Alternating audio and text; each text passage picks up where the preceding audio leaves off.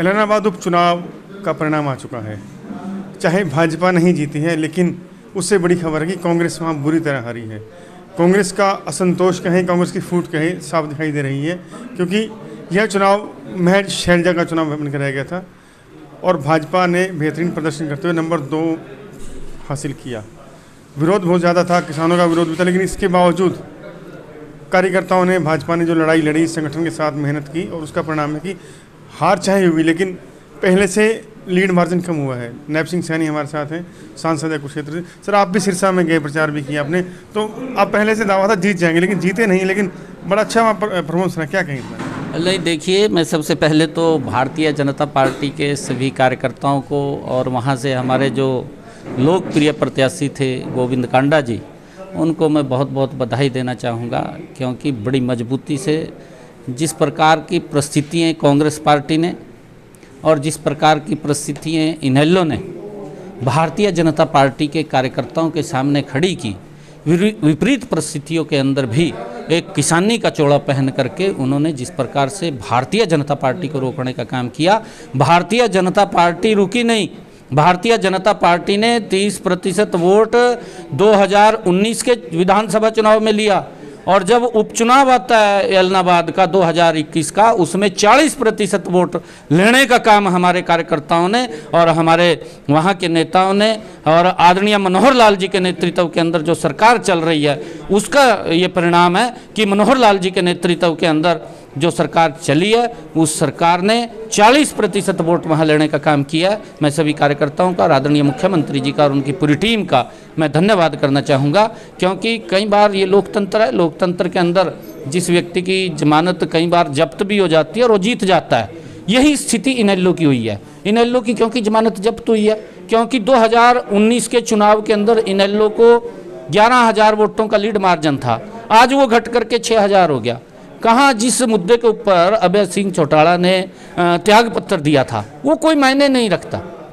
लोगों ने, किसानों ने उसको नकारा है। उस बात को नकारा जो कांग्रेस पार्टी ने एक लोगों के अंदर भ्रम की स्थिति पैदा की थी, इनेलो ने जो लोगों के अंदर भ्रम की स्थिति पैदा की थी, उस सारे विषय को जनता ने इन इलाहाबाद की जनता ने उसको नकार दिया। ये शिस्सा पूरा का पूरा सामने आ गया, क्योंकि वहाँ पर जिस प्रकार से गुरनाम सिंह चुड़न्नी तो बोलता है जाकर के, भी भाई आप कांग्रेस को वोट दें। और राकेश टिकैत जा करके बोलता है कि आप इनेलो को वोट दें। और क्योंकि उसने आप लोगों के लिए कुर्बानी दिया उसको डबल करके वापस करे। ना तो रा, राकेश टिकैत की बात को वहाँ के लोगों ने सुना है और ना ही गुरनाम चुड़ुन्नी की बात को लोगों ने सुना है क्योंकि कांग्रेस की तो जो पिछले वार में वोटें थी उससे भी स्थिति खराब कांग्रेस पार्टी की हुई है।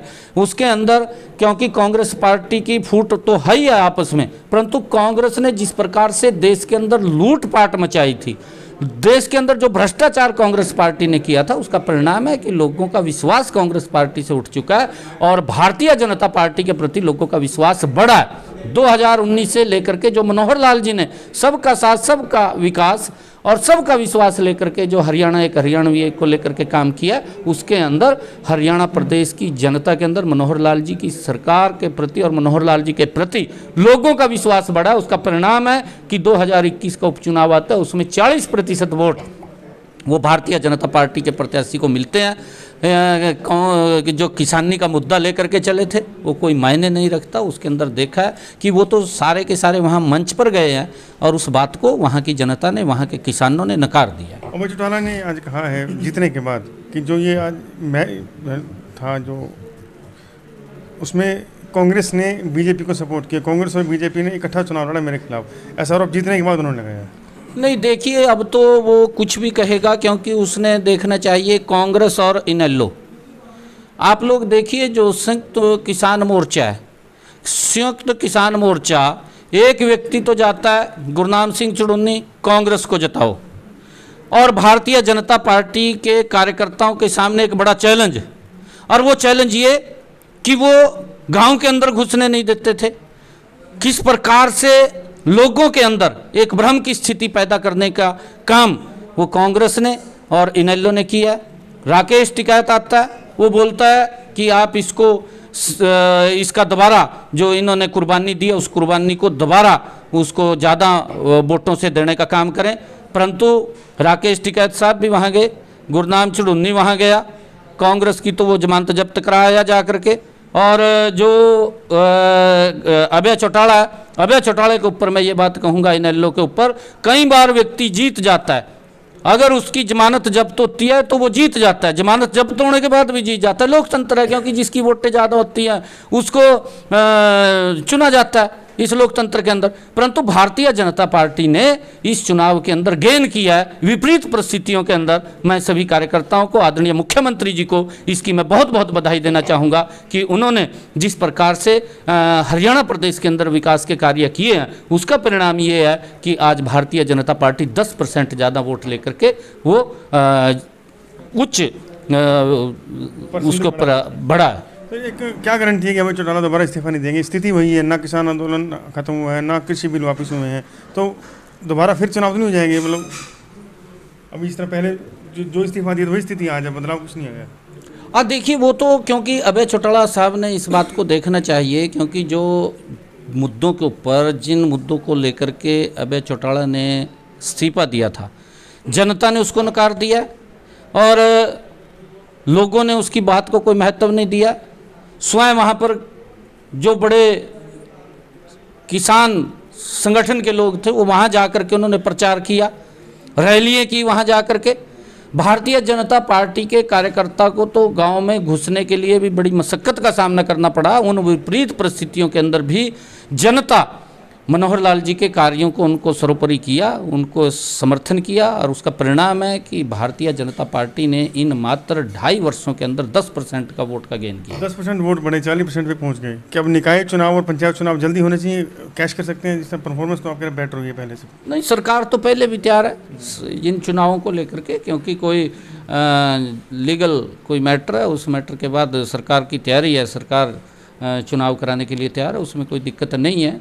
क्योंकि चुनाव पहले भी होने और आगे भी जल्दी महँगाई मुद्दे पर कई स्टेटों में हिमाचल में अन्य राज्यों में भाजपा हारी है। मुद्दा सिर्फ़ महँगाई था पेट्रोल की कीमतें राशन की कीमतें। तो क्या लगता है मुद्दा है ये कुछ कम होना चाहिए? राशन महँगा है पेट्रोल देखिए क्योंकि जो आप बात कर रहे हैं ये महँगाई तो जो पेट्रोल डीजल का भाव थे वो कांग्रेस के समय के अंदर भी कम नहीं हुए। लगातार वो बढ़ते चले गए क्योंकि अंतर्राष्ट्रीय स्तर के ऊपर इसकी कीमतें तय होती हैं।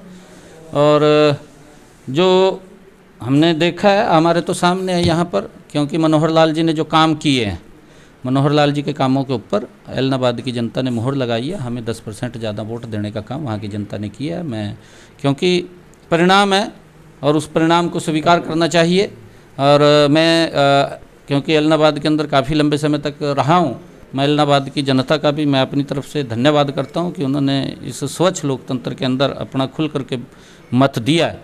और क्योंकि कई बार परिस्थितियाँ बनती हैं, परिस्थितियाँ मैंने कहा है कि कई बार ऐसी स्थिति होती है लोकतंत्र के अंदर कि व्यक्ति की जमानत जब्त हो जाती है और जीत जाता है। और यही स्थिति इनेलो की हुई है। आप जीत कर रहे ने- हैं, आप- इन- इनेलो ने इसके ऊपर कोई अपनी खुशी ज़ाहिर नहीं करनी चाहिए और उसने इससे सबक लेना चाहिए कि जो जनता को गुमराह करने का किसान को गुमराह करने का काम किया है उसके अंदर सबसे बड़ा दोष अगर किसी का है तो इनेलो का है अभय चौटाला का है और कांग्रेस का जनता ना तो कांग्रेस को माफ़ कर रही है कांग्रेस का जमानत जब्त कर रही है परंतु इसको भी सबक सिखाने का काम जनता ने किया तो बड़ी साफ़ सी बात है जो नायब सिंह सैनी का कहना है। उनका साफ़ कहना है कि भाजपा हार कर जीती है और इनेलो जीत कर भी हारी है। भाजपा का तर्क ये है कि उनकी परसेंटेज बढ़ी है और इनेलो को जीत कर हारने का तर्क ये दिया जा रहा है कि उनका जो विनिंग मार्जिन कम हुआ है। किसान आंदोलन के मुद्दे पर साफ़ कहना नायब सैनी ने कि किसान आंदोलन के मुद्दे पर जनता बहकने वाली नहीं है और जनता को बहकाने की साजिश रची गई थी। उसका एलनाबाद की जनता ने करारा जवाब दिया है। बी पॉजिटिव न्यूज़ के लिए चंद्र प्रकाश